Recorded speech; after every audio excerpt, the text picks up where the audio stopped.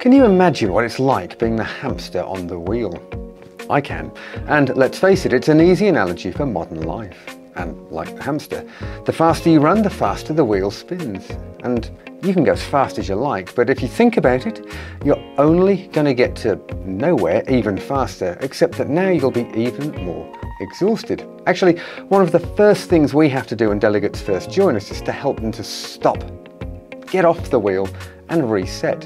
We understand it's a vicious bloody circle. Technology and life have us feeling constantly busy, overscheduled, overwhelmed and continually distracted. In fact, we like to call it the attention army and you know what, they have a huge amount of weaponry that they are skilled in deploying. So you have to consciously and diligently stand guard and defend your attention at all times. Only then can you start to reset recalibrate and reclaim time for what matters most, whatever that looks like for you. So ask yourself this, is being the hamster really making you happy? Or is it time to stop and get off the wheel?